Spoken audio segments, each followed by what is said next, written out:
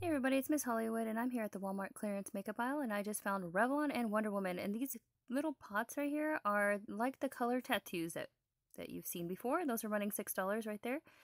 And then we have for $6 this Revlon 2 Mirror Compact. Then there was this beautiful brown color right here for $7 and that's part of the Wonder Woman line.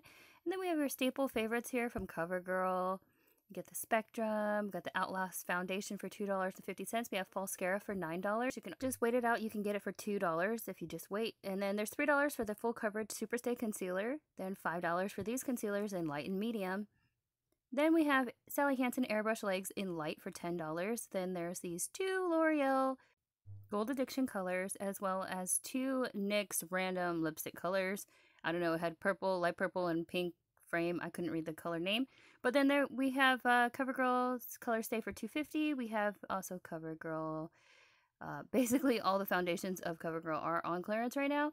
Then for $6, we have the Blackest Black Felt Tip Pen from Milani. $3 again for that Superstay Full Coverage Concealer.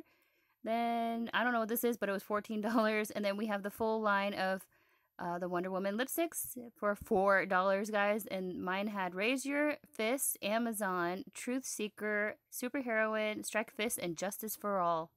And then we have four dollars for this Lemon Zesty Scrub.